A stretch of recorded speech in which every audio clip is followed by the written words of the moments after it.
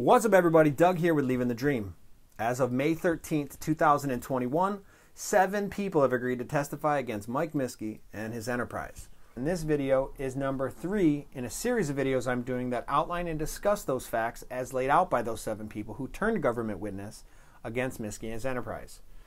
I'm going to do these in the order in which they made the plea agreements to make it easier.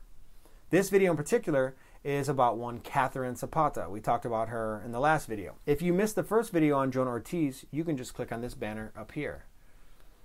And if you missed video number two about Timothy Taboada, who was Catherine Zapata's housemate, you can go back and watch it by clicking up here.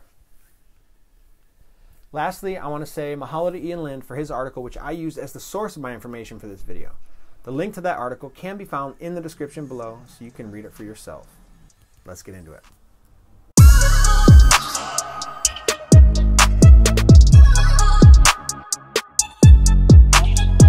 Video number three Catherine Zapata. She is charged with drug trafficking for her involvement in the crimes I'm about to talk about. As a part of her plea agreement, Catherine Zapata admitted that from at least March 2018 until August 14th, I believe, 2018, she helped Timothy Taboada prepare and sell drugs from their co-place residence in uh, the Mopunahala area of Kaneohe, Hawaii. On March 17, 2018, federal agents monitoring Taboada's phone calls overheard him tell Zapata to bag up 7.8 grams of crystal meth into two bags for some regular customer named Steve. And then on March 21, 2018, Zapata drove Taboada to Laie to buy 110 grams of crystal meth worth $2,400 from his supplier. Unbeknownst to them, that dude was a federal informant, so now they're in trouble.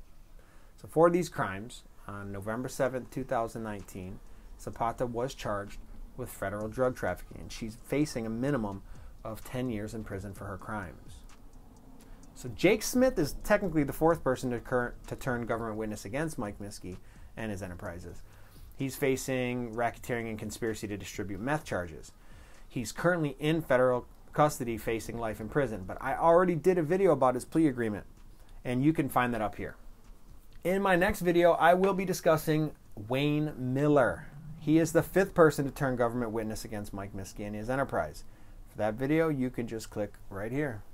And if you haven't watched my original video about Mike Miske and the Miske Enterprises, you can click on the video right here. I want to say thank you guys for watching. As always, I appreciate the support. And until the next time, aloha.